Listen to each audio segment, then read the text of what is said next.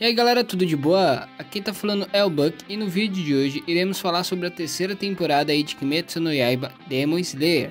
Uma cena aí que tivemos dessa nova temporada que deixou os fãs de cabelo em pé.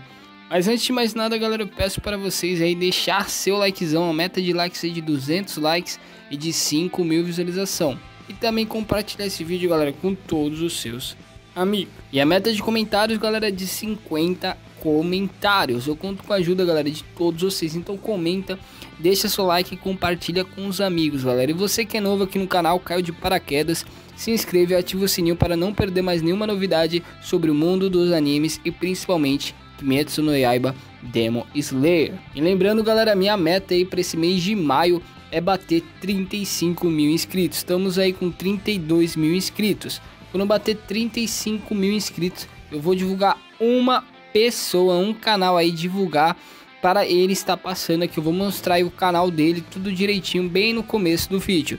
Então é só você aí se inscrever, ativar o sininho e esperar aí você ser divulgado e também comentar sempre nos vídeos aqui do canal. E galera, na descrição vou deixar meu Instagram, arroba canal do Buck, o link direto pro meu Instagram. Toda vez que sair um vídeo aqui no canal, eu posto lá no Instagram.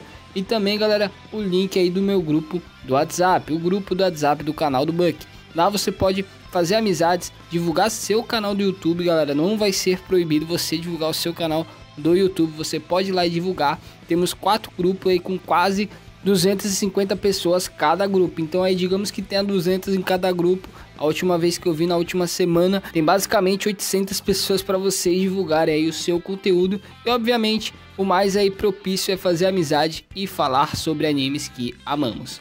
Beleza? E galera, antes de começar, vou mandar um salve para algumas pessoas que comentou no vídeo anterior.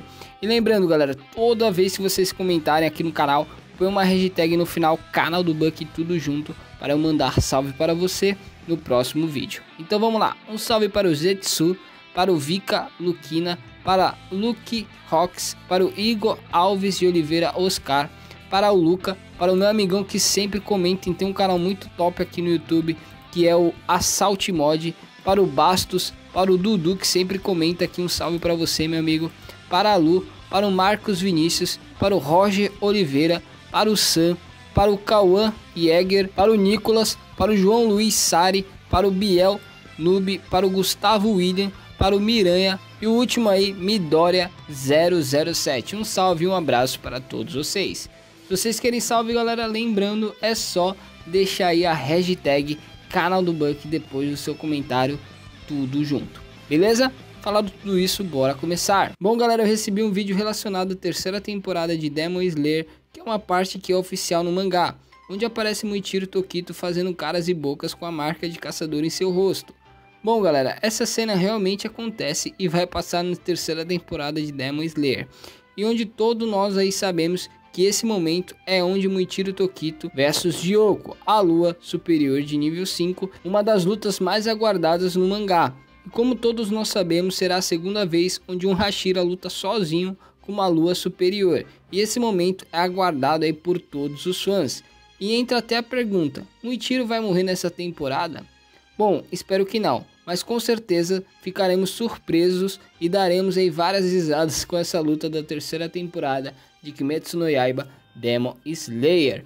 E galera, digamos aí também que Muichiro, ele tem um passado aí muito, muito, muito triste. Como tivemos na primeira temporada aí de Demon Slayer, aí no caso mostrou mais Gyutomioko, Hashira da água e também a Shinobu, a Hashira aí dos insetos. E depois aí tivemos no outro arco, o arco de número 7, Kyojuro Rengoku, o Hashira das chamas, que mostrou a história dele e aí onde enfrentou primeira vez uma lua superior, onde ele veio aí a morrer pela própria lua superior chamada Akasa, a lua superior de nível 3. Depois tivemos Tengu Uzui aí enfrentando Daki e Gyutaro, a lua superior de nível 6, mas ele não lutou sozinho como Kyojuro Rengoku. Ele teve ajuda aí de Zenitsu, teve ajuda de Nezuko, teve ajuda também de Tanjiro e também de Inosuke.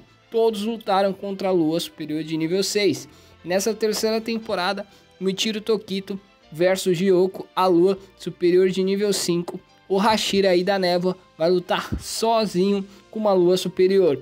Depois de que o Juro Rengoku, aí Tokito vai ser o único Hashira que enfrentou sozinho uma lua superior. Então, digamos aí, entre aspas, também é uma parte da vingança aí dos Hashira, dos caçadores, contra a lua superior. Vai ser uma luta, digamos aí, de um para cada lado. Então, assim vai ser uma vingança que Muichiro Tokito pode estar realizando aí referente à alma de Kyojuro Rengoku. Quando, galera, tivemos aí o trailer oficial, um novo trailer, tivemos uma data, tivemos um local para assistir, tivemos tudo relacionado a essa terceira temporada, galera, eu vou trazer aqui imediatamente para todos vocês.